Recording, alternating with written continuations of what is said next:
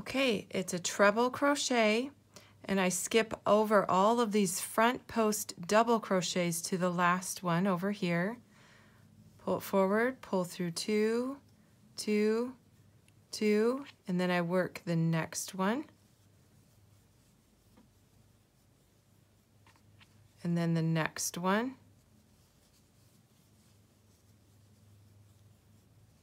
And finally, the very first one, you know, in that row, this is what will twist them. And then they're twisted over. And I'll come over here and I'll finish the row with half double crochet in between. And I put three of them. That's how the twist happens. And then I'll show you the next row.